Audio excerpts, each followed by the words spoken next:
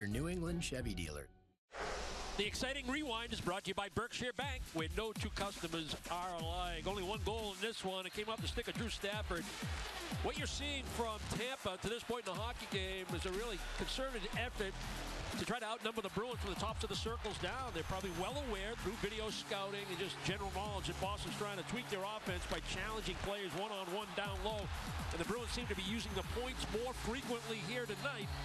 And it's going to lead to the goal by Stafford. A good play by McQuaid to move laterally left to right to create the shooting lane. Snap it on the back and a beautiful finish. That exciting rewind was brought to you by Berkshire Bank, now with a new state-of-the-art branch located at 121 Congress Street, right in Boston. To learn more, stop by today or go to revolutionarybanking.com. All season long, Berkshire Bank has let us cheat a little bit. Only take 60 seconds of break in the the second period and come back with additional analysis from Brick. And we appreciate their spirit and their effort. Krejci wins the draw cleanly back to Liles. Off Krejci in the slot. Stafford around back of the goal.